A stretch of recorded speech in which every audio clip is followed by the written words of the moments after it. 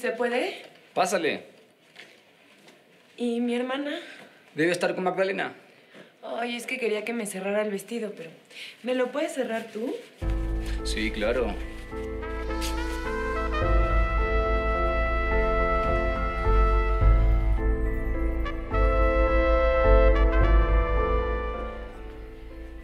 Es que siempre se atora como por ahí. Ay. Ay. Que no